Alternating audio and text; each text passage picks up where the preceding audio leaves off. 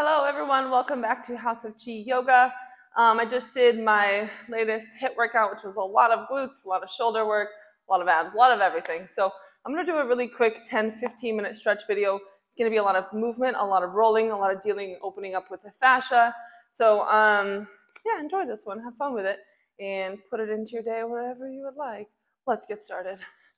Since I'm already warm, I'm going to go ahead and start on my knees and just pay a little bit of attention around the knee joint. So I use my hands to just massage above the knees, massage around the knees, just on top of the knees, and I just kind of press in, feel the muscles there.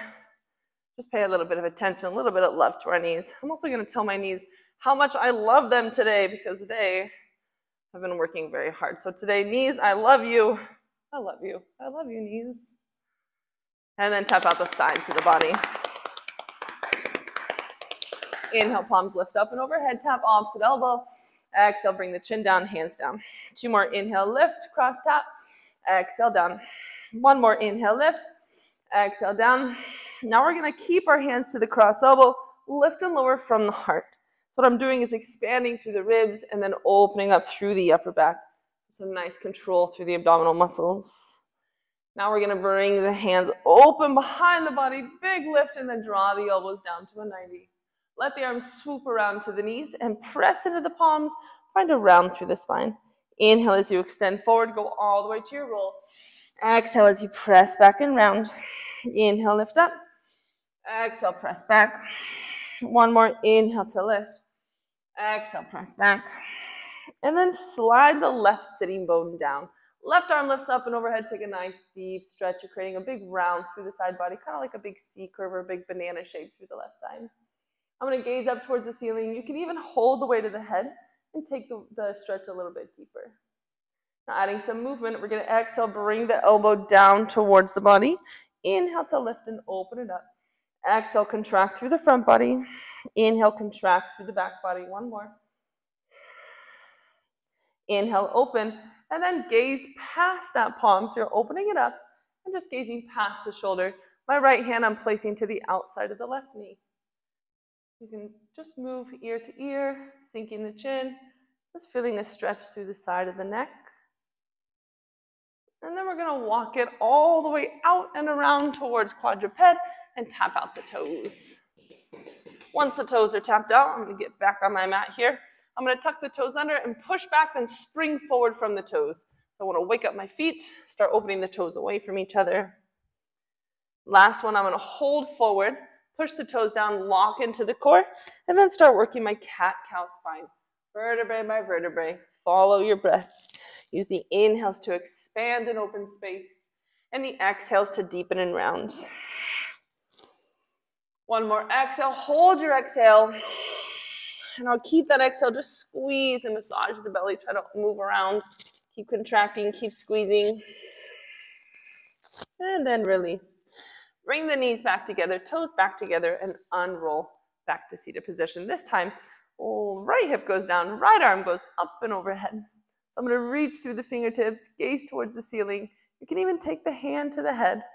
and go a little deeper with your stretch. And then you can add your inhales and exhales in your movement. So I exhale to contract, inhale to lift. Feel the front body closing, feel the back body closing. One more. And then we'll take the right arm, reach back and behind. Left hand comes across to support that twist. Roll the shoulder open, try to gaze past the shoulder. Keep breathing, feel a nice stretch all the way through the side body and into the front of the shoulder. You can move the ears, you can feel the sides of the neck expand. And then come back through center. We're gonna walk away and around quadruped. This time, tuck the toes and shift it to a downward facing dog. Right away, just start walking it out. Try to bring the knees down, the hips hang heavy, open up to the sides of the hips. Check in with the palms, the fingertips are spreading away from each other. The entire palm is supporting, that means fingertips, knuckles, the entire palm, no part of that hand is lifting up and away. Now lift the heels high and then sink them down, pull the toes up. So you're working into the backs of the legs, the hamstrings. Just moving heel, toe, but we're holding our down dog position. Oh, lots of cracking. Now heels stay down, toes stay up, and a slight bend in the knee. Try to keep the toes off the mat as you bend the knee. Keep breathing. Maybe feel around the ankle joints. Feel deeper into the calf muscles. now push into the toes. Walk the hands back and press the heart, the chest towards the thigh. Keep pressing, keep pressing. Feel a nice opener underneath the armpit. And then feet go all the way down. Walk the hands back. Inhale, reach the palms behind you. Exhale, bind onto the legs if you'd like, and forward fold. You're pulling with the lat muscles, getting the thigh and belly closer together. Releasing the head, yes and no. And then one more time, we'll inhale, reach the hands back. Exhale into a malasana, heels and toes out, hands to the heart. So use the elbows to press the knees wide. Big lift up tall through the crown of the head. And now keep the knees open by squeezing your butt muscles and pushing the feet down. We're going to extend the hands forward. You're going to inhale, lift the butt just to knee level and reach forward. Exhale, bring the butt down, reach the hands up. Two more. Inhale, reach. Exhale, lift. One more inhale. Now exhale, this time the butt comes down. The thumbs are going to drop and reach behind the legs for a bind. So now here you can lengthen taller.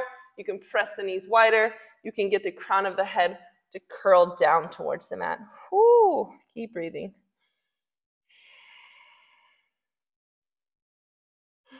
And releasing the muscles. Let's walk it all the way back to our plank. And then I'm to unroll into a cobra. So I bring my knees down, lift up through my heart, open the chest to cobra. Take a few deep breaths here. Work on expanding through the rib cage. Gazes up if you'd like it up. Exhale as you tuck the chin, and then come back. Knees are hips distance, and toes are hips distance. So we're gonna work our hands in a saddle grip. So that means I have these little C cups with my hands, and I'm gonna press them right at the ankle. Now first, just hold them there and relax the body down. And find some shifting in the hips. And then we're gonna work up to our rabbit's pose. So rabbit's pose, you wanna make sure that you're not putting pressure on the neck. You're actually using the abs to lift up and get nice and light. And then you're creating as deep of a round in the spine as you can. So my crown of the head goes down close to my knees. But as I lift my tailbone, I don't let everything fall towards the shoulders. I use the muscles to press the shoulders away from the ear. Now the abs are lifting. I always feel a nice, slightly uncomfortable burning sensation at the deep abdominal muscles because I'm just lifting, lifting, lifting, and creating a big stretch through the back. So if you feel like you can't breathe here, maybe work on pulling the shoulders farther away from the ear. There isn't pressure on the head. Let's take two more breaths.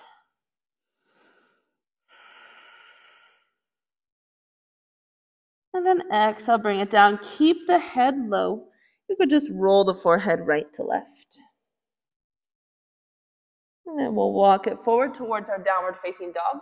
And let's inhale the right toes up. Exhale to open the hip. And I'll bring the right foot to the outside of the left pinky toe. So I'm going to square forward towards you. My toes are coming up, and then I'm bringing them to the outside of the palm. So not very far out, just towards the pinky if you can get it there. But I want to be feet at this funny little slanted angle here. So now I can plant down through this front toe, and I can open up from the hip through the IT band. So you can see my hands are still on the inside of my foot. If you would like, you can take your hand, your other hand a little bit wider just for balance and stability. But if you can keep your hands planted to the inside, that's gonna take your stretch a lot farther. So I'm gonna re-square again to my mat. I'm working my big toes down, my front leg, I'm working that hip to the wall behind me, and I'm bringing the opposing hip forward. I'm getting a deeper stretch that way too. Check in with the big toes, keep working the big toes down. And then keep breathing and hinging at the hip. Go deeper into your stretch. We're taking two more breaths here. Keep the weight equal in the feet. I feel this all the way through my sacrum area to the outside of my hip, all the way down the IT band. One more. And now flex your front foot. So my right leg is forward. I'm going to flex the toes, and then I'm going to let the knee unfold straight into a cobra. This is not cobra. This is a pigeon pose. Straight into pigeon pose. Untuck the back toes Keep the front foot flexed. Lift up nice and tall through the sternum to get into the other side psoas. Keep breathing, keep breathing, keep lifting. Your hips are active here. The back body is active here to open up the front. If you can release the hands and bind, go ahead and take a bind here, open up the chest. Ooh, I feel my chest muscles already from those rows this morning, from all that plank. And then you have the option to go forward. I'm to release my bind. I can't hold my bind and go forward. If you can, that is beautiful. Please stay with your own practice. We'll take a couple breaths at the bottom.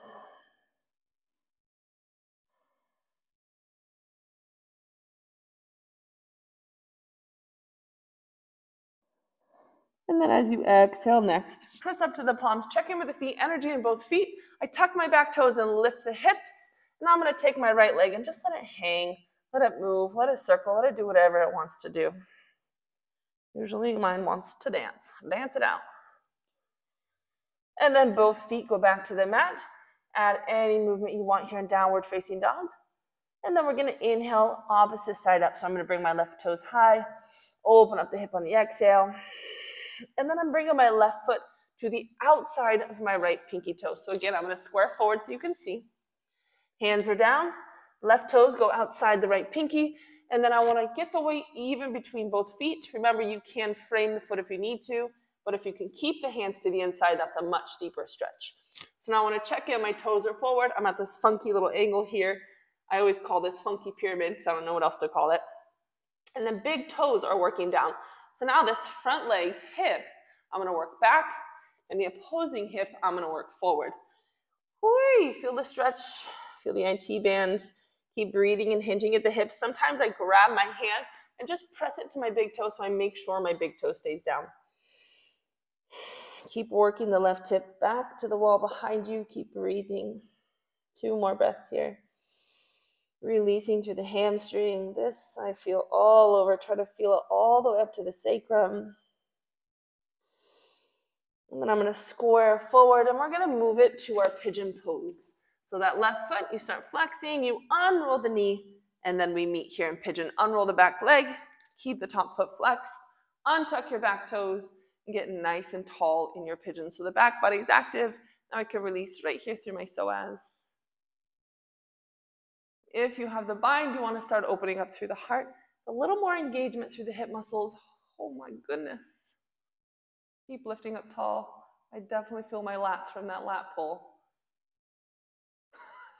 I keep talking like you were in the class with me before this, but I forgot. You were likely not in my class before this. and then releasing forward. If you can keep your bind, keep your bind all the way through.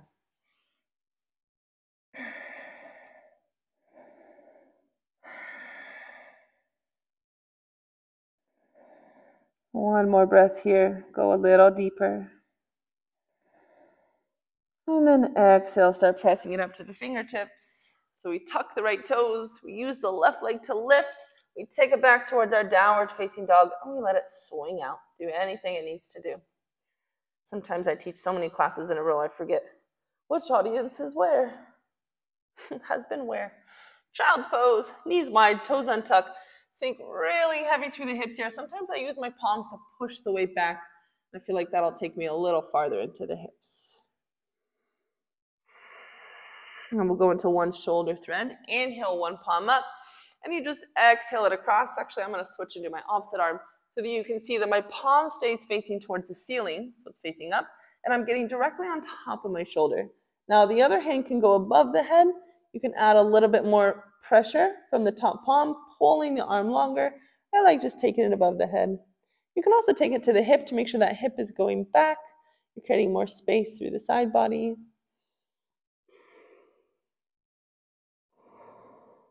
And then unroll. Let's go opposite arm. You inhale to lift, exhale to thread. Make sure the palm is facing up. Anything you want to do with the top arm.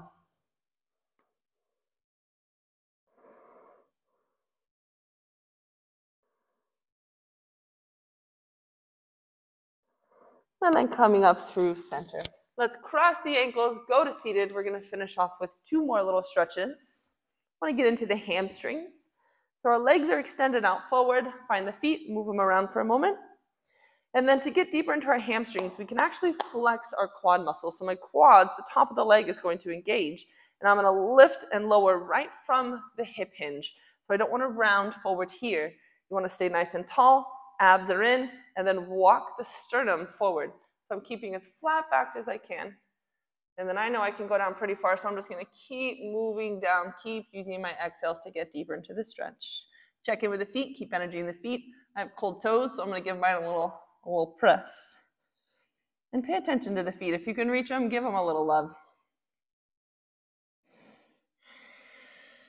One more breath here. Inhale. Exhale, go a little farther.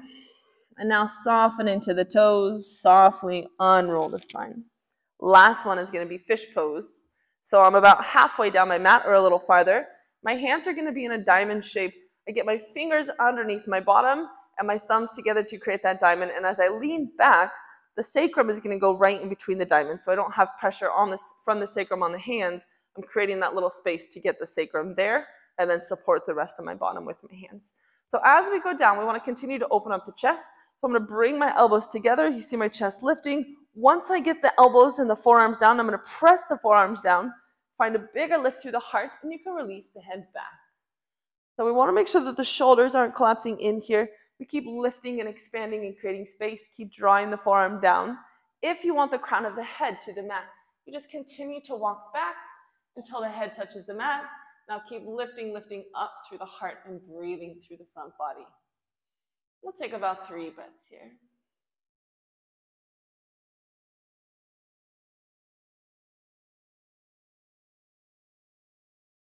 And then on this last one, we'll unroll the head all the way down, plant the feet, remove the hands, and we can come up through center. So either rolling straight through or rolling to one side, or feel free to finish off with uh, some back bends, some twisting, or Shavasana. Shavasana is always, always a plus to add in after you've done some stretching or some work. Hope you enjoyed that class today. I feel much better. Um, sorry I had a lot of gibberish about my other classes. I just get confused sometimes. But if you want to, go do the other HIIT. Um, it was a lot of glute and shoulder work, and it was great for this. Uh, it was a great addition to this stretch. So let's inhale our arms up. Exhale our hands down to our heart. Appreciating you, appreciating your presence today with me, allowing me to share this practice with you. Please like and, sh- and like, share, subscribe, all the things, and I'll see you next time. Bye.